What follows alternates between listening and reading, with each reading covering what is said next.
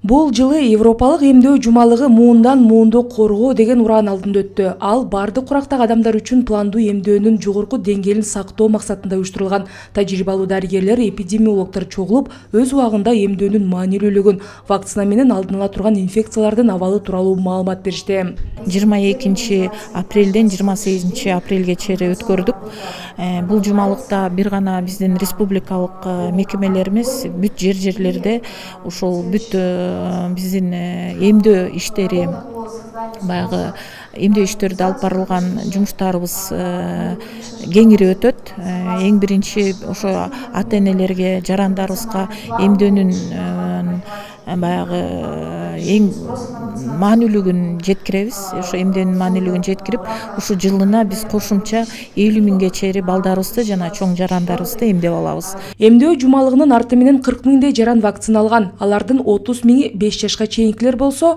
он миңдейи чоңдор. Адистердин айтымында өлкөдө жүргүзүлүп жаткан калктуу пландуу эмдөөнүн аркасында он тогуз жашка чейинки курактагы балдардын дифтерия кургак учук менингит б вирустук гепатиттен вакцина менен алдын ала турган инфекциялар катталган эмес ошондой эле атайын изилдөөлөр көрсөткөндөй эки миңинчи жылдан эки миң жыйырма экинчи жылга чейин эмдөөнүн арты менен он төрт жашка чейинки балдардын арасында гепатиттин б түрүнө чалдыккандар азайган бирок айрым ата энелер ар кандай себептер менен балдарына вакцина алуудан баш тартып келишет. Алардын саны жыйырма төрт миңден ашаары белгилүү болду. Эл арасында ар бир региондордо ушул эмдөө боюнча эмдөө боюнча чыныгы тастыкталган так маалымат берүү боюнча чоң иштер жүргүзүлүп жатат.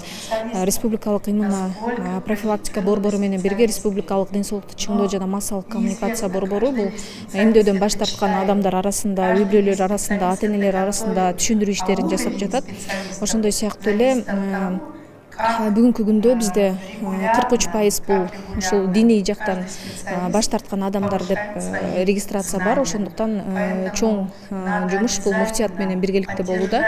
Бүгүнкү күндө ушул диний адамдар арасында имамдар арасында ар кандай семинарлар өткөрүлүп тегерек столдор өткөрүлүп жатат. Белгилей кетсек жапырт эмдөөдөн өткөрүүдөгү негизги максат адам баласындагы ооруга каршы иммунитетти көтөрүү. Адамзаттын дени сак узак жашоосуна жардам берүү болуп саналат. Мындан улам эпидемиологдор жарандарды эмдөө календарына ылайык вакцина алууга чакырат жашаган жеринен акысыз алса болот.